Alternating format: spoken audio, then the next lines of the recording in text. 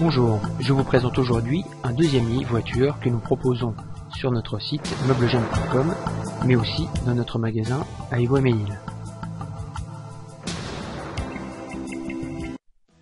c'est un lit avec un couchage 90 par 190 qui n'est pas fourni.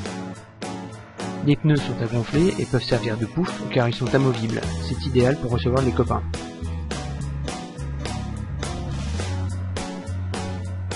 Les panneaux de côté sont en MDF avec des stickers déjà posés.